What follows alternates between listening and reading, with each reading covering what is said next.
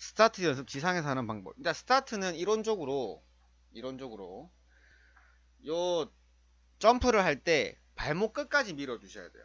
그 벽을 발목이 요렇게 딱 펴질 때까지 발목이 요렇게 쭉 펴질 때까지 어, 발목이 쭉 펴질 때까지 내가 그 벽을 발목을 끝까지 밀어 주시는 거. 그게 가장 중요하니까 집에 의자 같은 거 하나 있으면 의자를 갖다 놓고 자 여기서 이제 벽, 이 의자를 짚으면서 점프를 할 거예요. 점프를 하는데 우리 발레 하시는 분들처럼 발목이 이렇게 딱 펴져 있어야 돼요. 펴져. 발목을 누르면서 그냥 점프만 하는 게 아니라 자 보세요. 여기서 발목이 이렇게 돼야 돼요. 발목 봤죠 금방?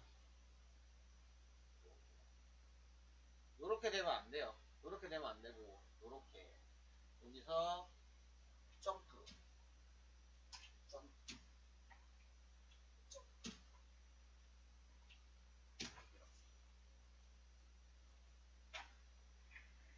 요렇게 발목을 발목을 밀어주는 연습을 하면 아이고 힘들어라 발목을 밀어주는 연습을 하면 스타트 할 때 요 느낌 그대로 스타트에 옮겨가면 스타트 날라갈 거예요.